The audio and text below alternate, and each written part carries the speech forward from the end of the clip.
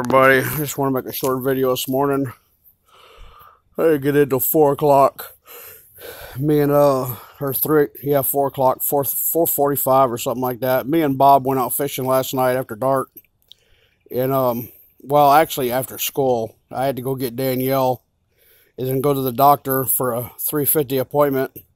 When I got done, got my medicine, we went over here to area one and went fishing for a few minutes, caught some brim.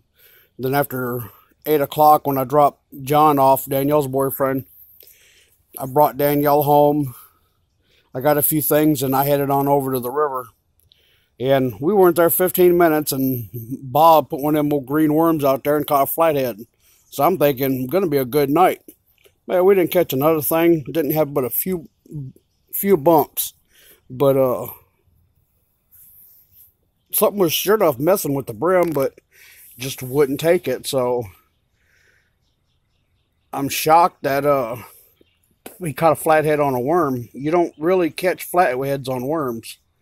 But uh Bob caught one. But I left it in some water. Like I said, I got home oh four four forty five or something like that or four thirty. I know I talked to uh, Native Tears.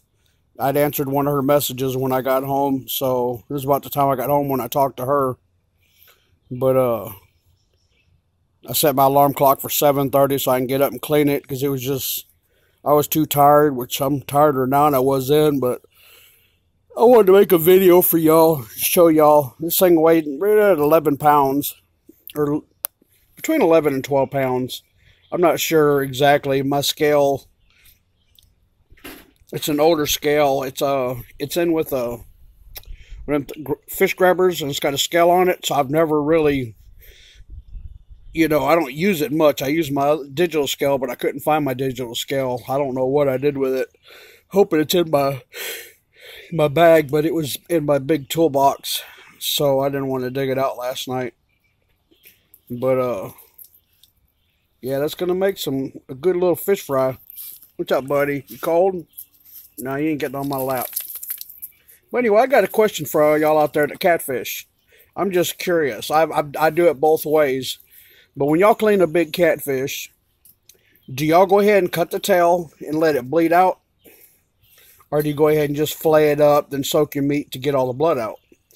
But uh, I don't think I've ever really asked anybody that. You know, I mean, I do with my fishing group and all that. I'll ask the kids, you know, because um, when I'm fishing on the river or the lake, I'll go ahead if I catch a big one, go put it in the cooler for have it for dinner.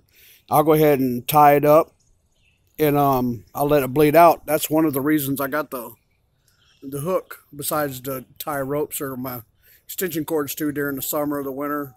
But I got them hooks on the side of my truck. I can dangle my fish from there and just leave the tail, you know, where it don't get on my truck, but leave the tail way down and go ahead and cut the tail off.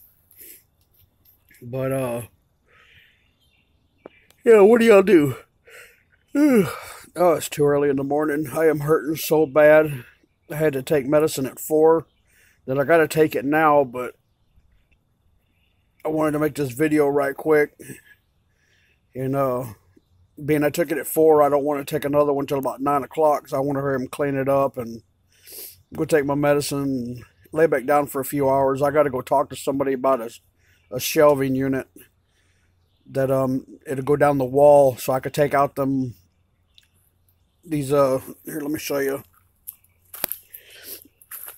These shelves I borrowed from a friend of mine. I can use them for the rest of my life. I just can't keep them because if I if they, if I own them then I can sell them and he, he don't want me to sell them but uh so that that one there for my knickknacks you know, it's it's a double sided. You know, this one's for dishes, and I got a few knickknacks. That was for knickknacks, and then books and stuff.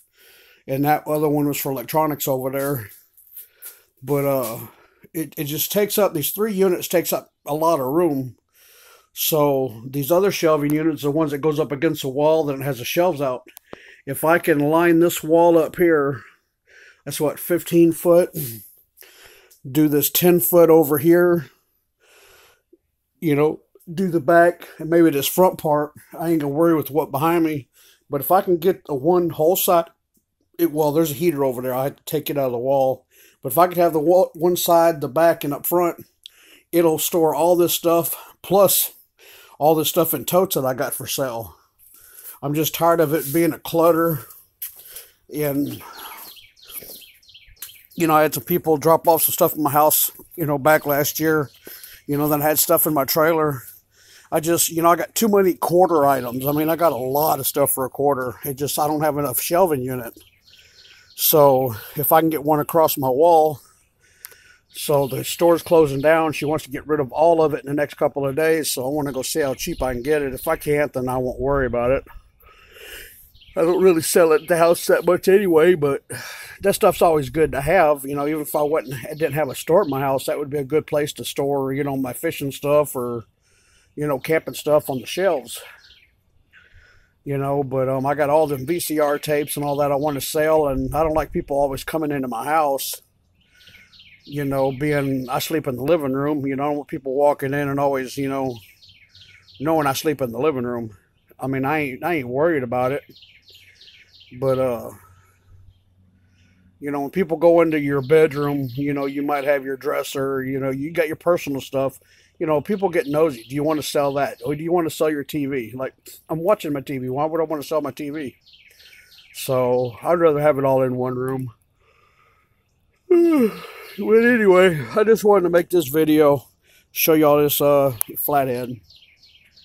Man, this is to be some good eating right here. Kind of wish Bob would have took it and cleaned it for his family, but uh, what I'll end up doing is take it, and when I clean it, I'll cook it either tonight or tomorrow.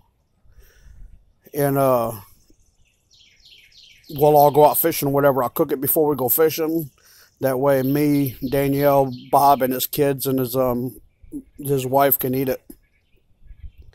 But I just wanted to share that with y'all.